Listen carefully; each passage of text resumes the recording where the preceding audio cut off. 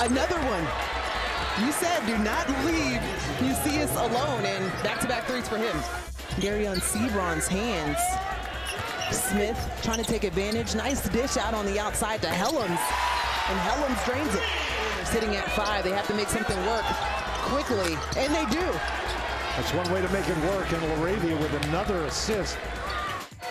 You know, they don't need him to score 20 points a game, but they need him to be a factor.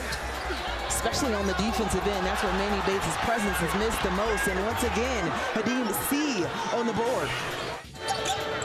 Just quick to the ball, quick off the rim as well. Just haven't been able to convert, on those shots. But Walton converting on all of his shots.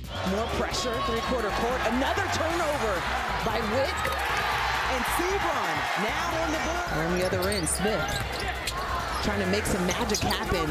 That one's rejected at the rim. Williams could potentially get Oh, first two here. oh.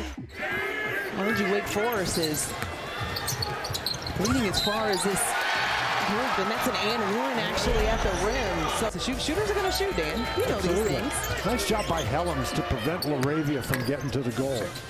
Bounces around a little bit, and then Williams finally gets. Well, that's something that Wake Forest struggled with in the first half. Sy turns down the three. Morsell is a guy that could really help if he got involved offensively. But how about Gibson? That's another player that has helped NC State. Smith finds Seabron underneath. That one is a bucket. Late in the shot clock, they're. Another turnover. Actually, a Seabron one-on-one. The Euro step over LaRavia. Williams from deep. Long. Again, that zone defense has Wake Forest settling. Seabron is so silky smooth. Williams, who has been the answer for a squad in different scenarios in this game, finds Mucius for the three. Dishes that one off. Outside shot.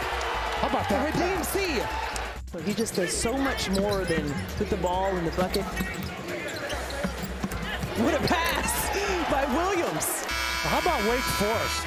They have now won 20 games. How about that? The first 20 win season since 2010.